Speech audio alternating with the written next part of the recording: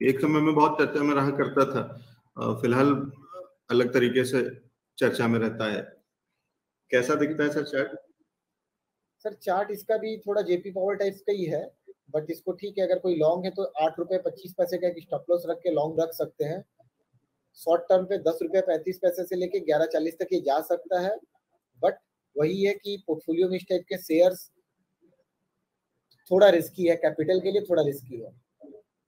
But अभी क्या है कि बाज़ार है बुल रन पे है तो कोई भी स्टॉक चल जा रहा है तो हर कोई को याद आ जाता है कि चलो सुजलॉन ले लेते हैं। जी ठीक है। और क्योंकि वो पेनी स्टॉक रहता है कम पैसे में रहते हैं तो इसलिए थोड़ा सा एक्चुअली देखिए मैं एक एक एक मैं अपना पर्सनल व्यू भी देना चाहूँगा। मैं दर्शकों को ये ज़रूर बोलना चाहूँगा कि अभी जो है ना हम बहुत सारे दर्शकों का फ़ोन आता है और मैसेजेस भी मेरे पास आते हैं।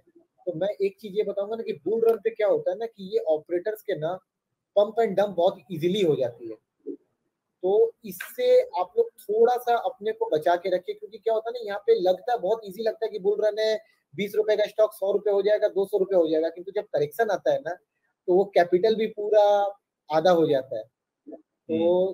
क्योंकि मैं बहुत सालों से हूँ तो 2007-8 में जो स्टॉक्स तीन हज़ार के भी बहुत थे तो अभी वो स्टॉक्स तीन रुपए, चार रुपए पे भी ट्रेड कर रहे हैं। तो वो बाज़ार इतना बढ़ गया किंतु वो सब भाव कभी आते नहीं है। तो थोड़ा सा इस टाइप के स्टॉक से आप लोग सावधान रहिए, क्योंकि इस टाइप में बुल मार्केट्स में ना मैनिपुलेशन बहुत इजीली होता है। जी। ठीक है तो इससे बच के रहना, क्यों? कारण क्या वो सब बता दिया विकास जी ने।